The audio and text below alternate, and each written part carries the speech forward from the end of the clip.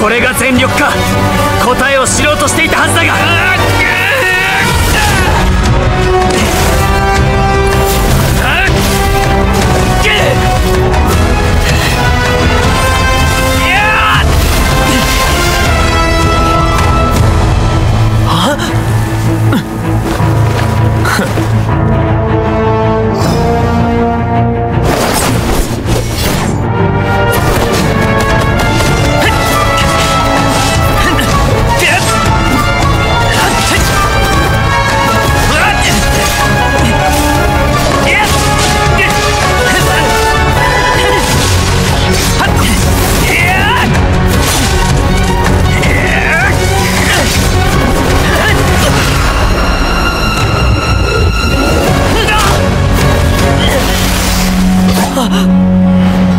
勝負はついた。まだやるか？君の勝ちだ。もう答えは見つかったようだな。はあ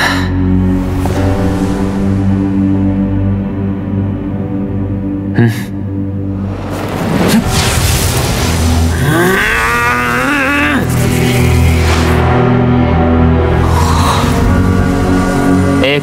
託すよ。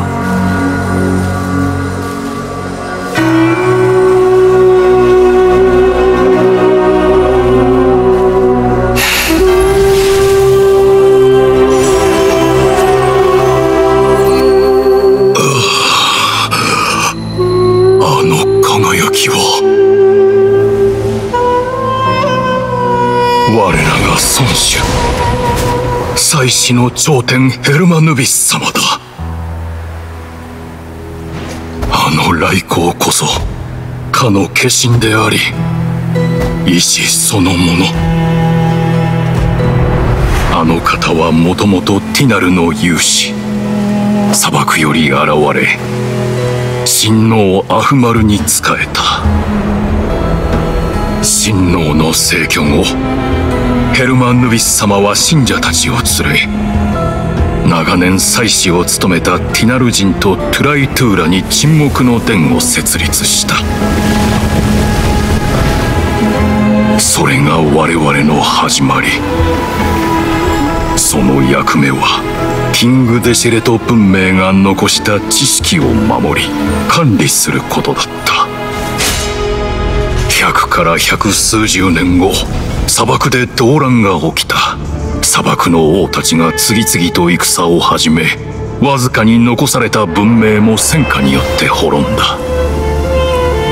知恵の国トゥライトゥーラだけがティナル人の導きのもと災禍を免れた。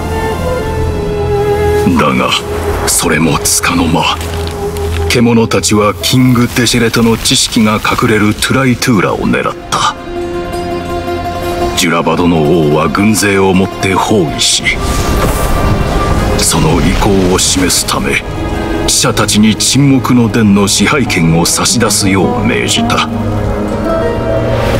都の貴族は覇者と結託し沈黙の殿を裏切る形で自身の統治を守った。そしてこう弁明した。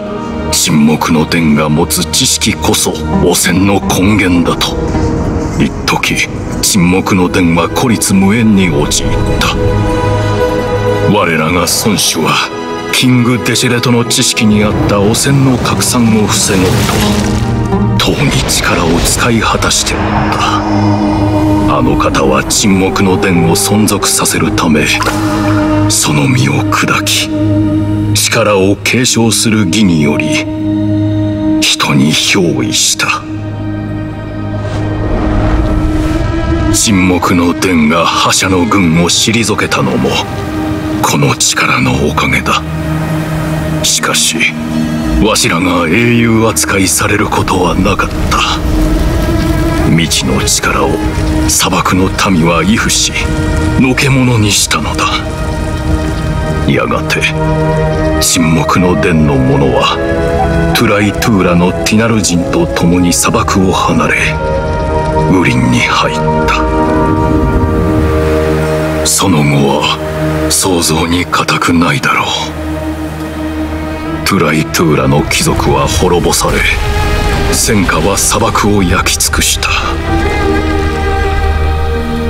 そしてわしらは秘密と使命を背負い身を隠して流浪するようになった。裏切られたわしらは砂漠からウリンへ向かったが不信感から砂漠へと再び戻った。長い長い出来事だ。